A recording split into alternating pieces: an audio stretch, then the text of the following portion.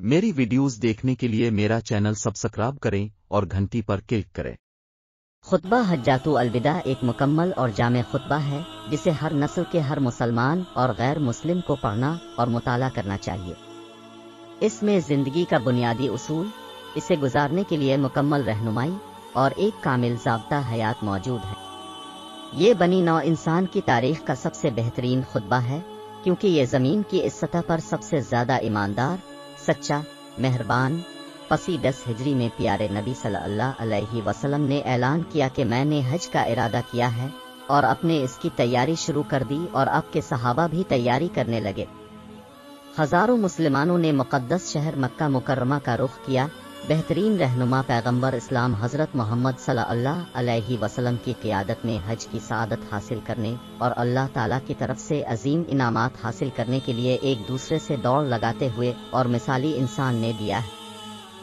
प्यारे नबी अलैहि वसल्लम ने वादी जुल हलीफा से हज उम्र की नीयत से अहराम बांधा। ये सादा अहराम पहनना इखलास और लगन की अलामत है कि सिर्फ़ अल्लाह की इबादत करें और इस दुनिया की हकीकत को समझी जो अल्लाह पर ईमान और योम आखिरत पर यकीन के बगैर कुछ नहीं।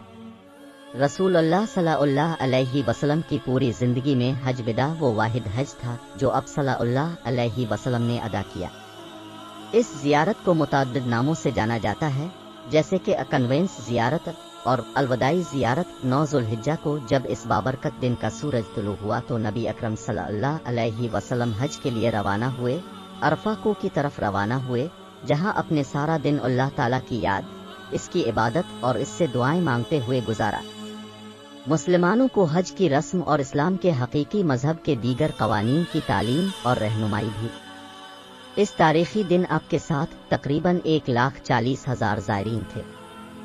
हज के इस बावकार दिन सूरज गुरूब होने के बाद रसूल अल्लाह सल्लल्लाहु अलैहि वसल्लम ने अपने ऊँट पर सवार होकर मुसलमानों से एक जाम खिताब फरमाया, जिसमें अपने उन्हें इस्लाम के असूल और बुनियादी बातें याद दिलाएँ और गलत कामों की ममानत पर ज़ोर दिया।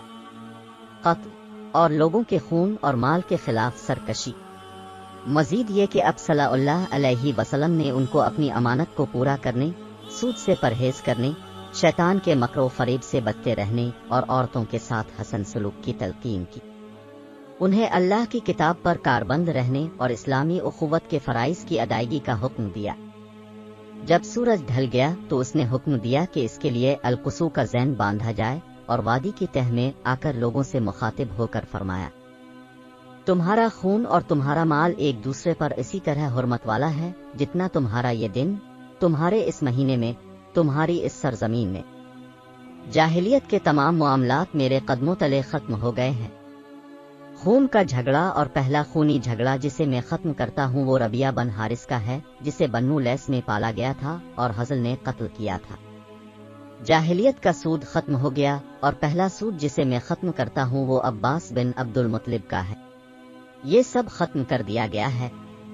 औरतों के बारे में अल्लाह से डरो, क्योंकि तुमने उन्हें अल्लाह की अमानत के तौर पर लिया है और अल्लाह के कलाम से तुम्हारे लिए उनसे कुर्बत जायज़ हो गई है।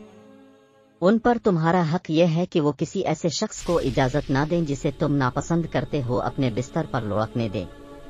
अगर वो ऐसा करते हैं तो उन्हें मारो, लेकिन इस तरीके से जिससे कोई चोट ना लगे या निशान ना रहे। तुम पर उनका हक यह है कि तुम उनको रिस्क दो और अलिफ। क्या मैं मोमिनों पर इससे ज़्यादा हकदार नहीं हूँ जो उनके अपने ऊपर है? लोगों ने रोते हुए जवाब दिया, जी हाँ या रसूल अल्लाह। फिर रसूल अल्लाह सुद ने अली का हाथ पकड़ा और फरमाया, जिसका मैं मौला हूँ, अली इसका मौला है।